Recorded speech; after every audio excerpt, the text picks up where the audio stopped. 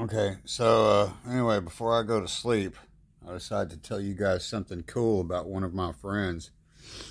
When uh, when I was a teenager and we were homeless in downtown Atlanta, she and I would uh, ride the subway together every day to school.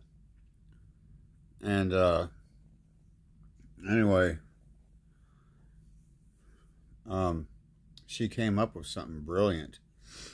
If you want a culinary tip, uh, you know, all that leftover spaghetti, you know, after you make spaghetti or something like that, or you just have a box of noodles and that's all you have to eat.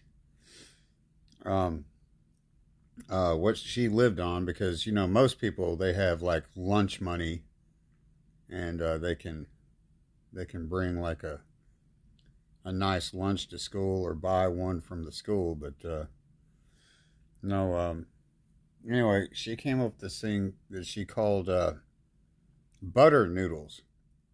And it's fucking delicious.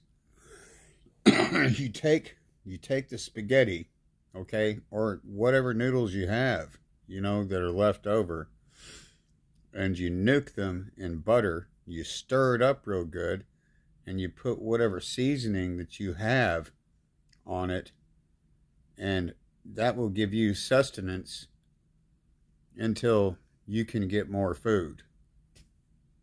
And it's freaking delicious. Okay, I'm eating some right now. See, look, I've got some uh, I just made some butter noodles. Hmm, well, here, if I can get the camera right. Yeah. It's freaking delicious. So if you're, uh, if destitute,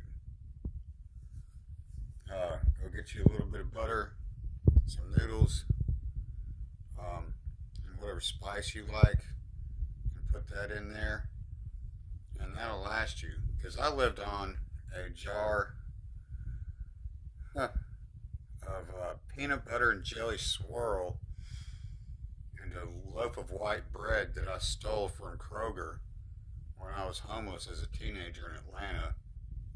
And that lasted me for two weeks. Okay, because I had to make it last me.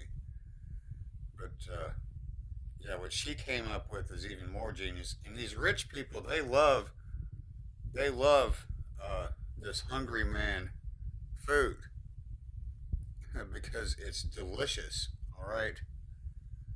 So uh, I just want you to keep that in mind, and yeah, go make you some butter noodles and keep your tummy full. Okay.